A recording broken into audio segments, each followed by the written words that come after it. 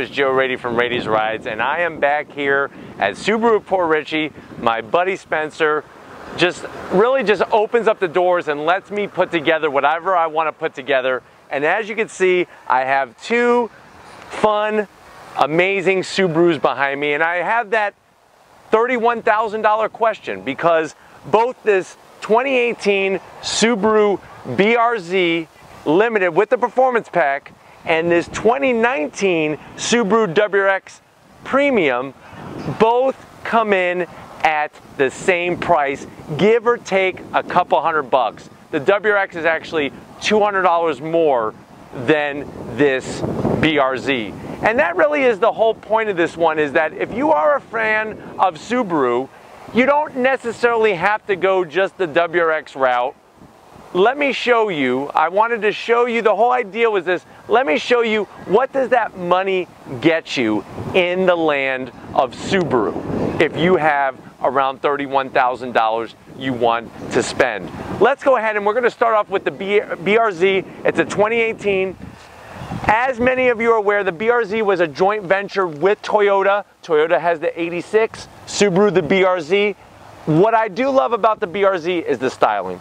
I think it really has that sports car look and feel. I like the front end of the car. For 2018, they was a continuation full LED headlights. So in the, at this price point, you're gonna get full LED headlights. I do like the lower fog light as well. And I just really love the whole front fascia. I actually like the BRZ a little bit better than the 86. I'm starting to see a little bit more 86s here and there and they're starting to grow on me.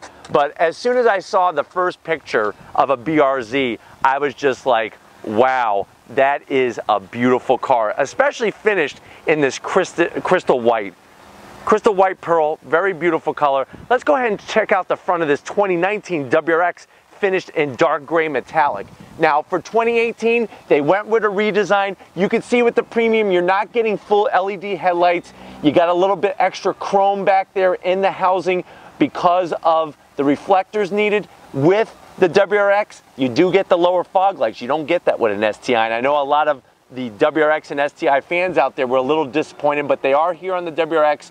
I do like how aggressive they went, and they've continued it with the 2019. I like the piano black. I like the uh, larger opening down here for the radiator with in, it's, you know, a nice um, flat black um, material. I do like the way they went with in that direction.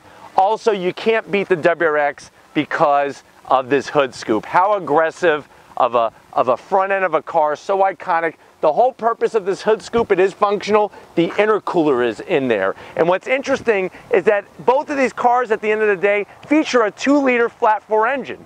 The big difference is, is a turbocharger. You're gonna have a turbocharged 268 horsepower in this WRX and 205 horsepower in this naturally aspirated Subaru BRZ. Speaking of the BRZ, let's go check out the side because there's gonna be some surprises there you're gonna like. All right guys, we're on the side of this BRZ. Ever since the BRZ hit the streets, I really felt like the lines were just classic proportioned lines for a sports car. And I think 10 years from now, the BRZ is still gonna look as sexy as it does now. And that's what really draws me to the car is that overall balance of the proportions of it. Let's start here with the front fender. So you can see that this one has the performance pack. That's gonna give you the 10 spoke wheel, still a 17 inch wheel, but it's a 10 spoke wheel. I love like almost the gunmetal chrome finish on it. Very nice touch. You can see those bright red Brembo calipers. That is gonna be also part of the performance package. And one thing that you cannot see, well maybe Tom with his magical skills could show you,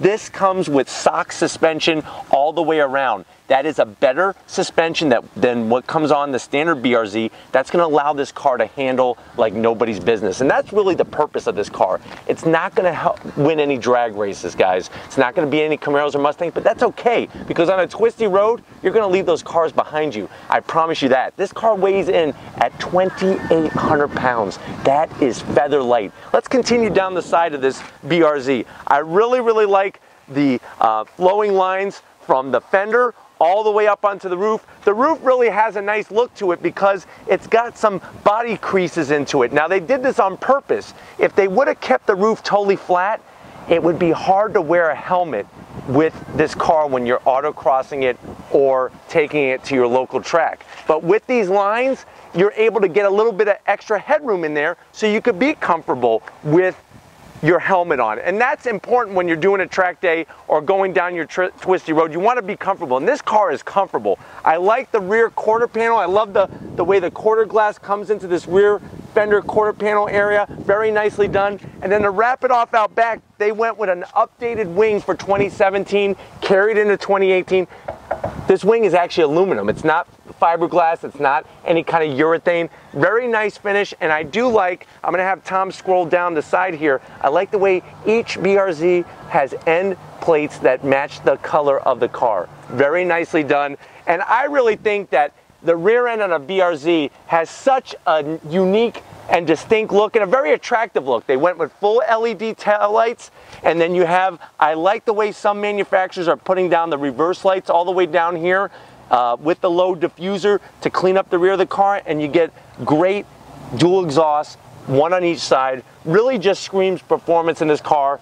205 horsepower may not sound like a lot of performance, but I promise you, like I said, twisty road, it's gonna be a ton of fun. Let's go check out that all-wheel drive WRX. All right, guys, here we are with the 2019 Subaru WRX. This one is finished in that beautiful dark gray metallic D DGM. If you see those initials, that's the color you're getting. It's kind of overcast right now. If the sun was out, this color really pops. I do like the side fenders. I like what they did for 2018 styled 18 inch wheels. So you get an 18 inch wheel, it's one inch larger than the BRZ. You can see the standard brake caliper there with its pads. Still does the business. Is it a Brembo? No, but it is very good quality and they do have some great stopping power. This car is weighing in at around 3,270 pounds. So you can see a little bit of a difference because remember, underneath the skin of this car is that all-wheel drive, that symmetrical all-wheel drive that Subaru is famous for. Underneath that hood, you'll be able to see it in a second, 268 horsepower uh, FA 2 liter engine, direct injected technology with that turbo to give you that power and some better fuel economy and just overall better drivability. With the side of the WRX, one thing I've always liked is the flared fender. I like the way that they really show the line really well with this nice crease. And then as Tom wraps it around, you could see just how much the front fender is sticking out as he wraps around the side of the car and really flows into from the fender down onto this lower uh, side still. So that's a look that you're going to get with a WRX. Gives it an aggressive look and it's also for aerodynamic purposes. So it's not just about show, you are getting go out of the bodywork on it. My biggest complaint with the WRX and the STI is I wish that this roof line was just a little bit lower. I think probably for me, the sexiest Subaru ever is gonna be that 22B, that WRX STI 22B. That, to me, is just the epitome of Subaru sexiness. This is a little bit larger, and I think some people get hung up on that. I know there's a lot of people comparing this car to like a, a Corolla or a Camry or whatever, but it still is a fun car. It screams power. It's got that all-wheel drive. I like the way out back. It's got a nice kick-up rear spoiler, nothing aggressive, nothing too crazy. And then to wrap it off, I really like the lower diffuser and the dual exhaust. You could see how there's gonna be that styling difference between this and the BRZ, but they're both coming in at the same price point. This one has the additional STI carbon fiber um, badging across the back here on the trunk. That is a dealer installed option. Very nice touch. And like I said, that all-wheel drive superiority. If you're in any type of env environment, whether it's super rainy, snowy, lots of dirt, this one is gonna be your choice. But if you're looking for something maybe a little bit sportier, you got the BRZ to choose. Let's go ahead and pop the hoods on both of these. All right guys, here's underneath the hood of this BRZ. Nothing major, 205 horsepower, that two liter flat four engine. Look at how low it sits in the frame. That's gonna help with that handling. Remember, a flat four engine, it's a boxer engine because the pistons are going back and forth like punching gloves. Very low. You can see. Another thing I like about the BRZ underneath the hood, there's not a ton of plastic covering everything up. You got this very sexy uh, intake plenum. I like the red. That was something that they added for 2017. Usually that red is associated with STI, but I do like seeing it on the under the hood of the BRZ and it just really pops well with the white bodywork. I think you would agree. You can see the actual structural braces that they put at the front of the car because, like I said, this is not a drag racer. This car is all about handling. If you want to get more performance out of it, you can. You could add superchargers, you could add turbochargers. They have those kits available. But if you want something naturally aspirated that's going to be a, a, a, nice car to drive every single day and then hit those twisty roads, hit that road course, then this is a great, great car for you. Let's go ahead and check out this WRX. So here's the 2019 Subaru WRX. This is that FA motor. So that's a two liter direct injected turbocharger. You can see the intercooler mounted on top and that's going to help you produce that 268 horsepower. At the end of the day, if you're looking at performance numbers, you're looking at 0 to 60 in 6.2 seconds for the BRZ, 0 to 60 on this WRX in 5.5 seconds. Top speed on the WRX is 144 miles an hour, and on the BRZ it's 135 miles an hour. So you can see the difference in the performance that you're gonna get. I really think, you know, it's a matter of taste and it's a matter of style and it's a matter of what you really want at the end of the day. Both very good engines, both Subarus. Speaking of Subarus, let's go ahead and fire them up and hear what these engines sound like.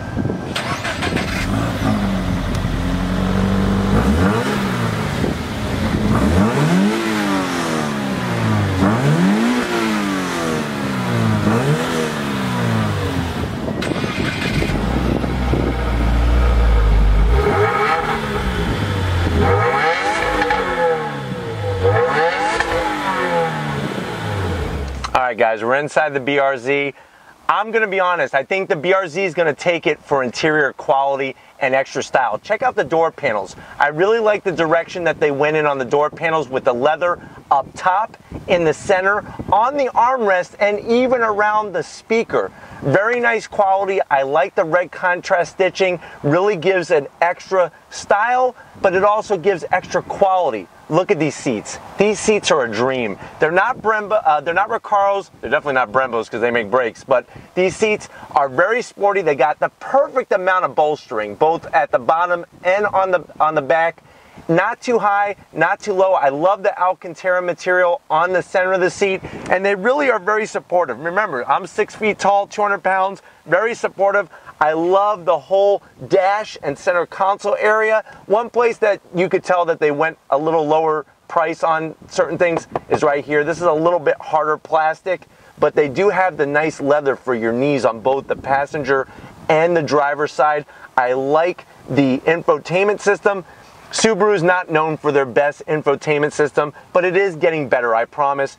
Very simple uh, AC controls, but they make sense and they work. There's that beautiful engine start stop button. You would think every car in the 21st century would have this. Wait until we get to the WRX, you might be surprised. Here's where I feel like they, they, they missed it big time. This, this whole thing right here.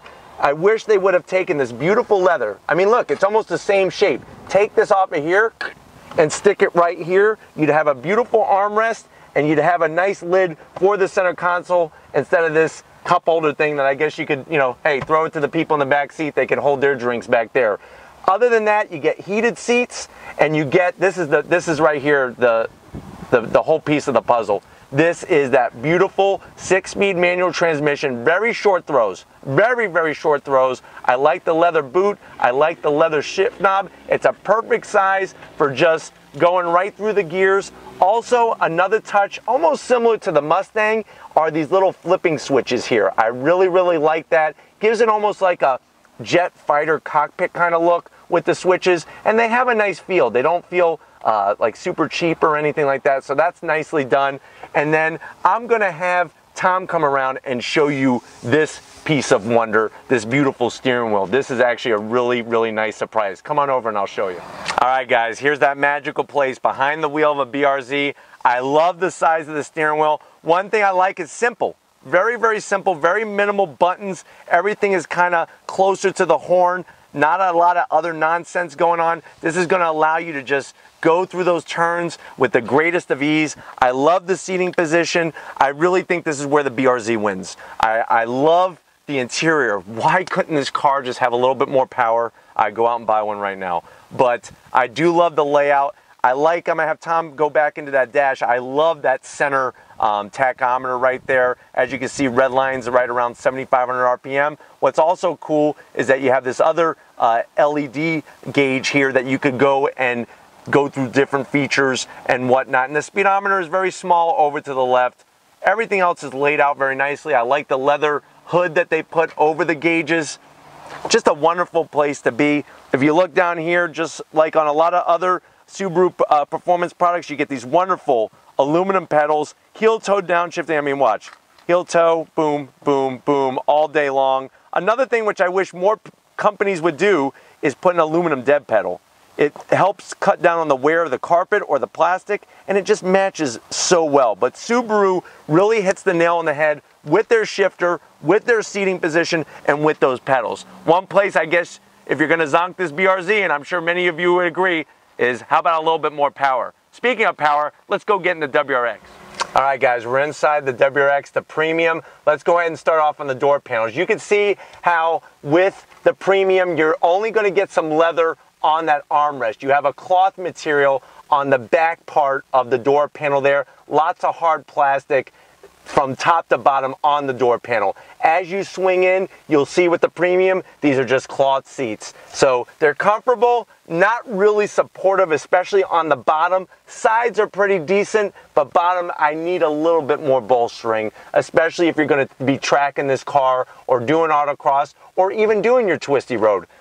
Seating position, it's a comfortable place to be. You have great visibility. That's probably where this car is going to win over the BRZ. BRZ's got decent visibility. This has got better visibility. This really has like a rally car feel to it. You got the faux carbon fiber and you have this really cool informational screen up top that's going to allow you to toggle through different features with a nice leather hood as it flows down into this waterfall infotainment. There's our Starlink system again and very, very simplistic on the AC controls. No dual climate like in the BRZ. You have this wonderful cubby area for a phone, even a couple phones, but the problem is, is that you just have a 12 volt. You do not have any USB here. If you want USB, you gotta go all the way back to here, and that's where you're gonna find two USB ports. ports.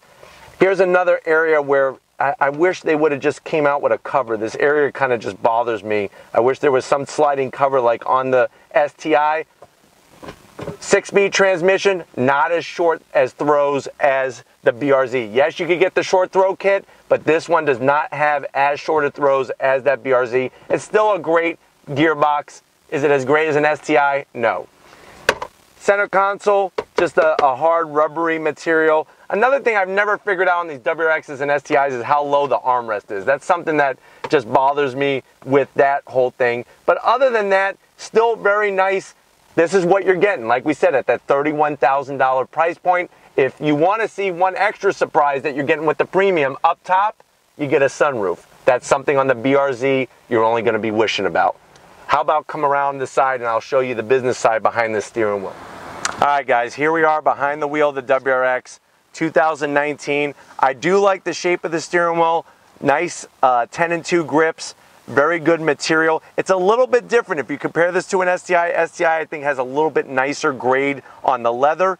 Not a lot of buttons. Um, a little bit more than the BRZ, but still not many. One place that I really love on these um, WRXs are the gauges. But like I said, look, can you believe it? 21st century, and we still have a key. You would think everything would be push button by now, but I guess that's where they got to cut cor corners. But you, I love the backlighting on the gauges. I love, if Tom could show you up there, the LED on that screen underneath the hood. Very nice touches that you're not going to have on the BRZ. I think definitely the gauge cluster, much nicer, even compared to my RS, my Ford Focus RS. I love the gauges on this WRX and even more so on an STI. Pedal wise, clutch is a breeze, very, very light. You got that great heel. I mean, look at this. It's like it's like these pedals were just made for heel toe downshifting. I'm, I'm wearing these terrible Nikes, which are not the great greatest driving shoes, but still very easy to heel toe downshift. Piece of cake. If you're ready, I'm ready to wrap this one up. All right, guys, so it's been one hell of a day here at Subaru Port Richey. Got to give a huge shout out to Spencer and everybody else here. They really love seeing Raiti's rides here, and I love being here and being able to feature these cars. And like I said, for $31,000, what is that going to buy you in the realm of the Subaru world of performance? This is it. These are the two options that you have. WRX is just $200 more. Do you want that rear wheel drive? Do you want that car that's going to be lighter on its feet, more fun through the twisties? Or do you want to go that rally car-esque, all-wheel drive, turbocharged motor? The great thing is, I really think you can't go wrong with either of these. But remember, it really comes down to you getting your butt behind the wheels of these cars and taking them for a drive yourself. If these are the types of things you like to see on Raiti's Rides, these types of comparisons, leave a comment in that comment section. If you have not hit subscribe yet, what are you waiting for? Hit subscribe. I promise you, every single day there's a great review, worthwhile for coming back. We got a little bit of something for everybody. If you have been a subscriber, thank you guys and girls. Thank you for your support. I'm so grateful for every day. Just the, we keep growing as a family, as a community here on Raiti's Rides, and it's so wonderful to see the comments, people helping one another. If you have not been to my Instagram, Facebook, or Twitter pages, you definitely want to check all those out because that's Raiti's Rides original content all the time. I don't copy and paste other people's stuff. If you are waiting for your Raiti's Ride shirt, make it happen. How do you do it? You're on YouTube, right? Go back to my homepage on YouTube, click About, lower left-hand corner it says Raiti's Rides Merch Shop. We got shirts, bandanas, hats, bags, the whole nine yards. Thank you so much for supporting the channel. Thank you so much for promoting the channel. I love it when you guys tell me how you wear your Raiti's Rides gear and people say, hey, I watch that channel too. How amazing is that? But what's even more amazing is the man behind that camera. Tom Moschner, Big Guns McGee, the man, the myth, the legend. Women love him, men want to be him. Thank you for your help, Tom. There's nothing like working as a great team, and I think you guys see it. You see the cohesiveness, the bond that Tom and I have, and it really just becomes magical here on Raiti's Rides. Definitely want to give him a shout out, leave him some love for his big, huge uh, powerlifting competition coming up in December. And just like always, guys, I'll see you on the next ride.